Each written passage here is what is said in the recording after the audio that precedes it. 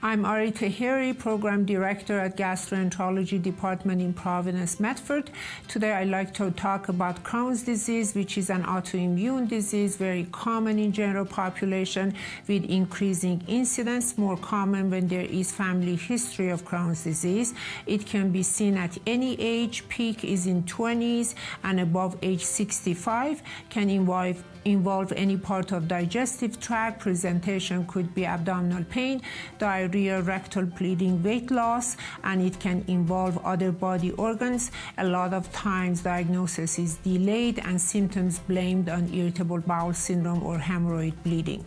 Outcome is totally uh, dependent on early diagnosis, referral to a skilled gastroenterologist and aggressive treatment, which is pretty much safe, effective even during pregnancy.